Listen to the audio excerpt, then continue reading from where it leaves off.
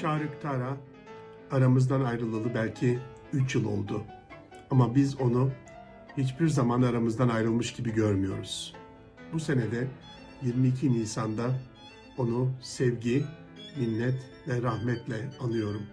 İyi ki Şarık Tara doğmuş, iyi ki var olmuş.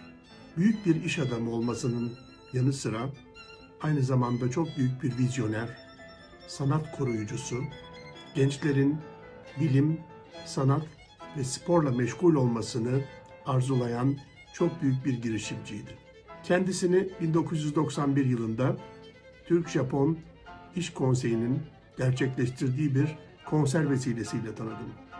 O zamanlar genç bir sanatçı olarak İstanbul Devlet Senfoni Orkestrası eşliğinde bir konser vermiştim. Kendisinin övgülerine mazhar oldum. Onunla en son anımız belki 15 sene önceydi. Makedonya'da düzenlenen uluslararası bir iş konseyine başkanlık yapıyordu. Orada güzel bir konser verdik. Konserden sonra seyircilere dönerek çok güzel bir konuşma yaptı. Benden özellikle bir eser çalmamı rica etti. Bizim meşhur Katibim türküsü. Hani Üsküdar'a gider iken sözleriyle başlayan. Çünkü bu türkü sadece Türkiye'de değil ama Makedonya'da ve bütün Balkan coğrafyasında çok meşhur bir türküydü.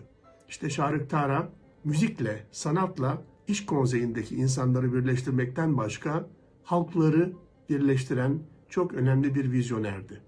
Kendisini rahmetle, sevgiyle ve minnetle anıyorum tekrar. Şarık Tara'nın özlemle beklediği gençler, sporla, bilimle, sanatla uğraşan gençler onun açmış olduğu okullarda, tesislerde çalışmalarını eksiksiz yerine getiriyorlar. Sanat faaliyetleri devam ediyor, spor faaliyetleri devam ediyor.